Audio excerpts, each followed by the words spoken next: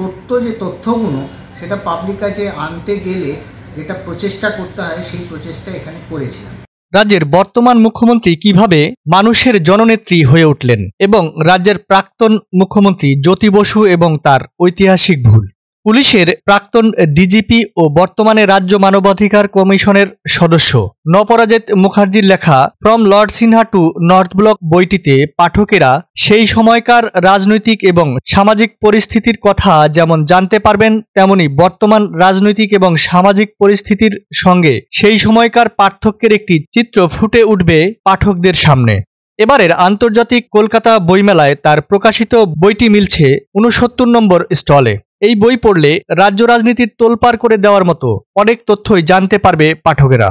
রাজ্যের প্রাক্তন ডিজির লেখা সেই বই নিয়ে লেখকের কাছে জানতে চাইলেন প্রতিনিধি জয় বিশ্বাস।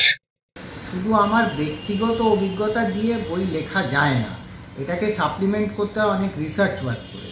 তো সেই রিসার্চ ওয়ার্ক করতে গিয়ে দেখলাম যে অনেক খাটাখাটনি আছে জিনিসটাকে অথেন্টিক করার জন্য এবং সত্য যে তথ্যগুলো সেটা পাবলিক কাছে আনতে গেলে যেটা প্রচেষ্টা করতে হয় সেই প্রচেষ্টা এখানে করেছিলাম।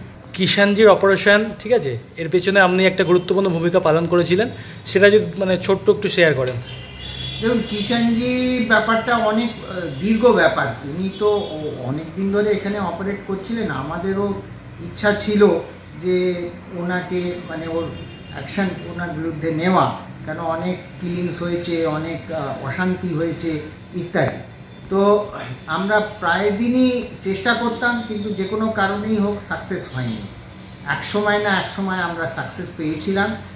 কথাটা হচ্ছে যে উনি খুব ইলিউসিভ ক্যারেক্টার ছিলেন মানে ওনাকে ধরা খুবই ডিফিকাল্ট ব্যাপার ছিল। দেখলাম বইটা পড়তে প্রাক্তন মুখ্যমন্ত্রী জ্যোতি বসু এবং বর্তমান মুখ্যমন্ত্রী মুখ্যমন্ত্রী মমতা ব্যানার্জিকে উনি লেখা আছে। এই বইটাই আপনার সাবজেক্টে উঠে এসছে, লেখায় উঠে এসছে। কি বলবেন? দেখুন বর্তমান মুখ্যমন্ত্রীকে আমি একটা চ্যাপ্টার ওনার সম্বন্ধে লিখেছি পিপলস লিডার মমতা। অর্থাৎ বলতে চাইছি যে উনি সাধারণ পাবলিকের একটি, একজন নেত্রী এবং সাধারণ পাবলিক ওনাকে অত্যন্ত বেশি পছন্দ করেন এবং একটা একটা বিরাট নেত্রী হিসেবে পশ্চিমবঙ্গের জনতা ওনাকে দেখে, এই চোখে দেখে।